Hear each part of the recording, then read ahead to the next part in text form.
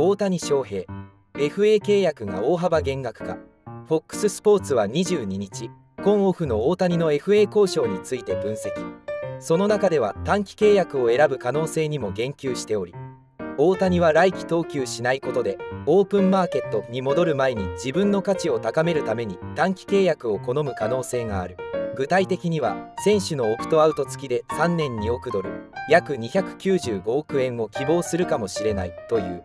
またホームランを打ちやすい球場を選ぶことでエリートの打撃の才能を強調することもできると付け加えた。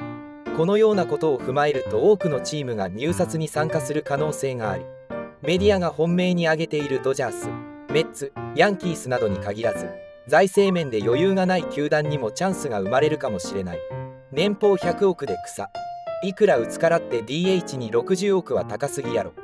2024年投げれない指名打者。2025年投手復帰1年目。2026年二刀流。ちょっと高い。ここまで計算できたら安いぞ。十分すごい定期。高すぎやろ現状維持で十分や。トミー・ジョンから復帰した年にどうなるか過去に実績あるのにそんな契約するのか。1年100億やん。